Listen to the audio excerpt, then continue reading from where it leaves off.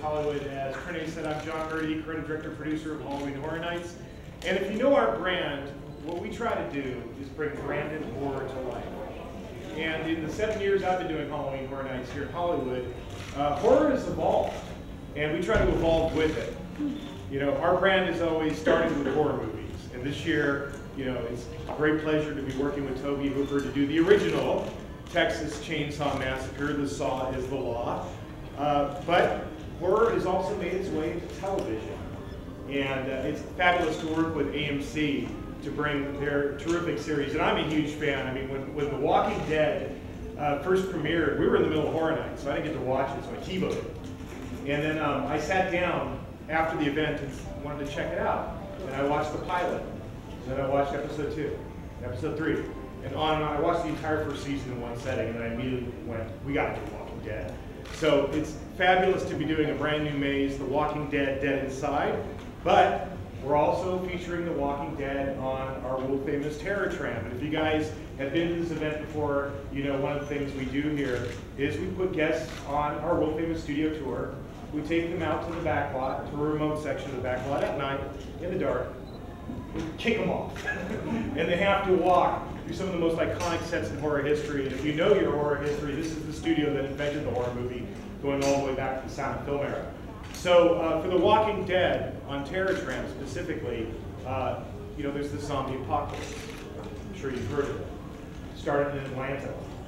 It's come to the West Coast, so now the walkers are here, and they've invaded the movie studio, and that's what you can experience on the Terror Tram invaded by The Walking Dead.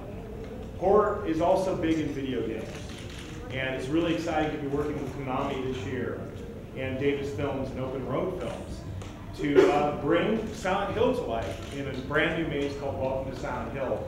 Um, it's, it's incredibly challenging to bring a video game to life, especially when you're talking about characters like Pyramid Head with his ginormous head. Um, and we're working very closely with both, both Konami and Silent Hill, uh, the film producers, which is Davis Films, to uh, bring the best of the video game series and the movies to life for Halloween Horror Nights. We're also doing in our House of Horrors attraction something called Universal Monsters Remix, which is a re-envisioning of our classic Universal horror characters that started it all here at Universal Studios, um, updating it for the 21st century, and uh, bringing a lot of our other iconic horror properties to life in that as well. Today, what we're going to be trying to show you guys is a little sneak peek at what you're going to see during the event. And uh, we've got our makeup artists here, and one thing we do um, that's always been a part of Horror Nights and always been our brand, is we do extreme horror. So we think of this as an R-rated horror movie. Um, and a lot of times that involves you know, huge amounts of gore. Um, but when we're trying to put, what's different from maybe like a movie or a TV show, you know, if you're making a movie, you only have to get it right for the camera once, and then you're golden.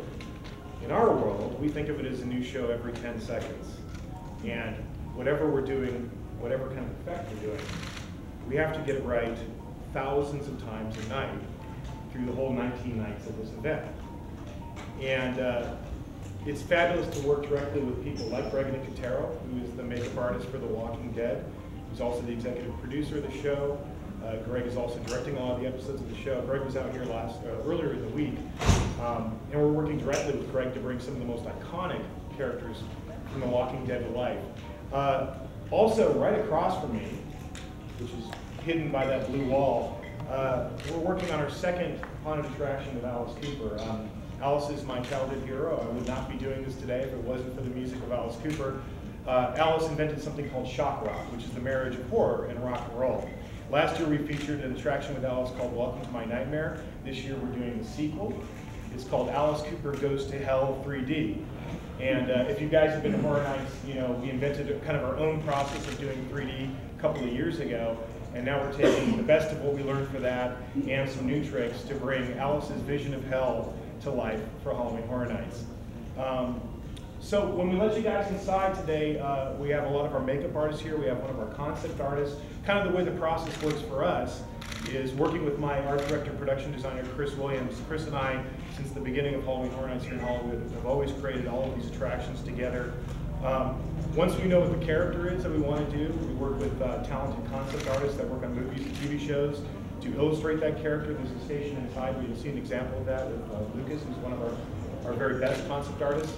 And then once we've got that illustrated uh, as a headshot and a close-up of the costume, we give that to our fabulous costume staff to create all the costumes. And for Halloween Horror Nights, nothing is off the shelf. We create every single thing that we do for this event from scratch. Um, and we have a lot of those costumes on display today. And then we also work with really talented makeup artists, and our lead makeup artist is here today, Larry Bones. And then working with all of his sculptors, they go through the whole process of sculpting it, whether it's a mask or a facial prosthetic. Um, and then all of these things get baked like you bake a cake, and, uh, and then painted. So it's a very long, uh, crazy process when you think about putting hundreds and hundreds and hundreds and hundreds of actors into makeup every night. I always think when Henry Ford invented the, you know, the assembly line years and years ago, he, he never could have envisioned how we would use it. Because what we do is basically the assembly line of gore. So uh, we're going to show you a little sneak peek of that inside. And Halloween Horror Nights opens September 21st. It runs for 19 nights during the months of September, closing on Halloween night in October. And we can't wait for you guys to all come out and see how we've taken Halloween Horror Nights to the next level this year. Thank you very much for being with us today.